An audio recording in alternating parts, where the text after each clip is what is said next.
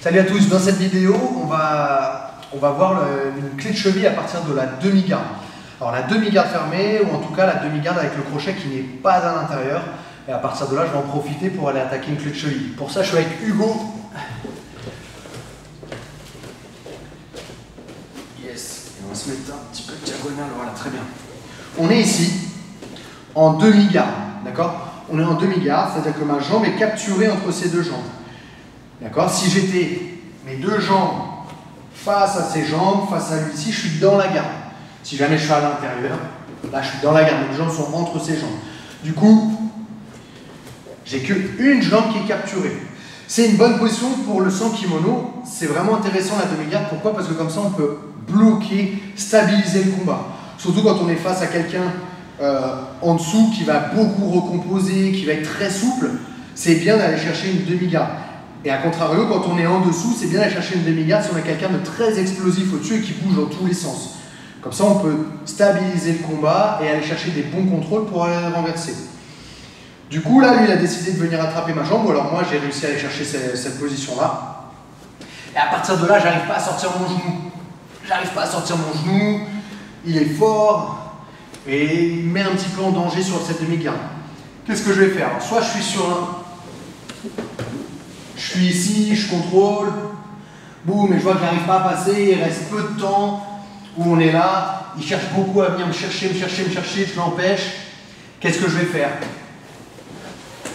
À partir de cette position-là, je vais venir placer mon mollet sur le haut de sa cuisse et je vais mettre ma main sur ses pecs pour l'empêcher ou en tout cas faire en sorte que ce soit difficile pour lui de me suivre.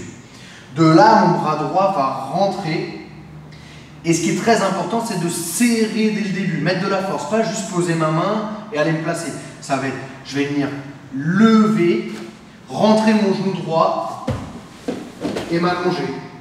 Et quand je m'allonge, je m'allonge vers l'intérieur, pas vers l'extérieur. Si je m'allonge vers l'extérieur, je peux toujours finaliser, mais il y a un risque qu'il arrive à remonter sur moi. D'accord? Pour aller chercher le dos. Du coup, je vais m'allonger de l'autre côté.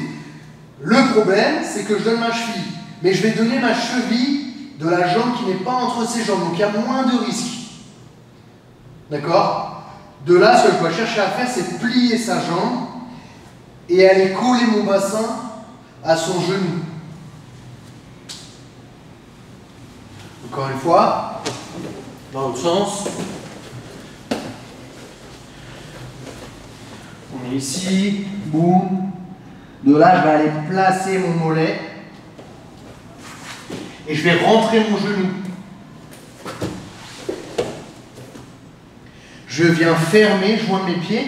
Je laisse surtout pas cette jambe là au-dessus. Si je laisse cette jambe là au-dessus, on est en 50-50 et il va pouvoir me l'attraper et peut-être me finaliser. Du coup, je vais venir chercher avec cette jambe là mon pied pour le protéger. D'ici, moi j'ai l'avantage.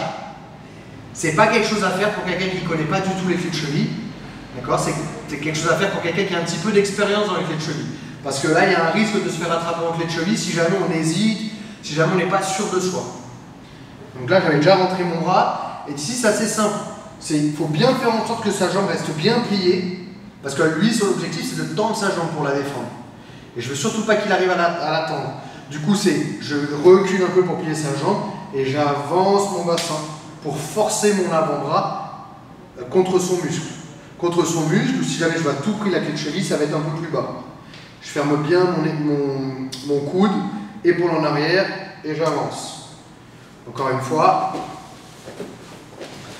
On est ici, boum, j'ai pris le contrôle. Je vais venir enrouler ici et rentrer mon genou droit. Je viens sur le côté, je plie sa jambe et je force. Il y a aussi une possibilité d'aller chercher la clé de talon, mais pour l'instant on va rester sur la clé de cheville. D'accord? J'ai plus qu'à forcer. Je mets bien le tranchant de mon avant-bras contre son muscle. Je n'ai pas besoin de joindre forcément mes mains. Et je vais venir partir vers l'avant pour vraiment forcer sur son muscle ici.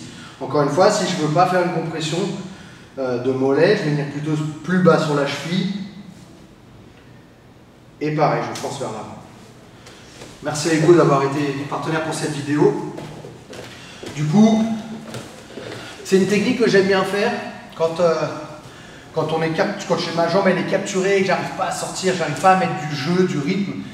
Euh, et du coup, ça me permet de, me donner des opportunités. Même si j'arrive pas à soumettre, derrière, il va forcément ouvrir, il va forcément s'exprimer. C'est souvent face à des gens qui font pas grand chose et qui attendent un peu que le combat passe. Bah, si on veut donner un peu de rythme, c'est ce que je vais faire. Après, encore une fois, il faut être sûr de soi sur la clé de cheville. Et puis, il faut être sûr de soi aussi sur la suite des événements si jamais ça j'arrive pas à soumettre en clé de cheville. Normalement ça marche bien, hein. si on est bien orienté vers l'intérieur, l'adversaire il est vraiment euh, surpris et on est toujours très bien placé et on est assez fort pour faire cette technique.